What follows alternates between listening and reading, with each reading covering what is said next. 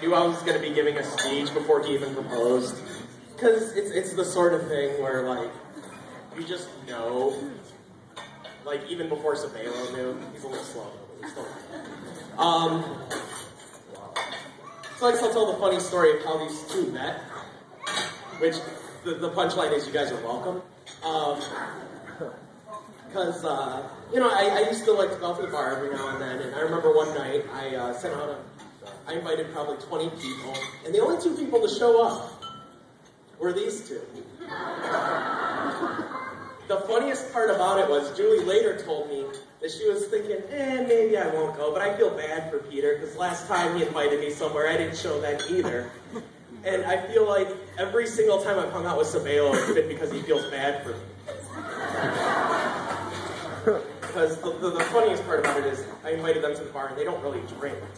So it was basically, I'm going to drink this beer and eat the and you guys are going to talk to me. Um,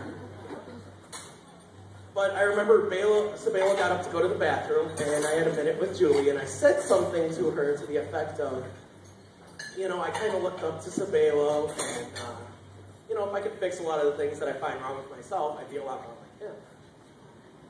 I don't know if it was the alcohol or if I really felt it, but she bought it, so good. So, you know, you're welcome.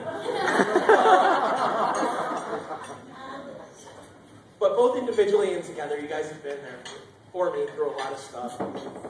Sometimes you told me things that I didn't want to hear. But I needed to. But I needed to. And so I'll say this, if you guys can be half as good to each other as you've been to me, I mean, you guys are going to have a lifetime of great times together.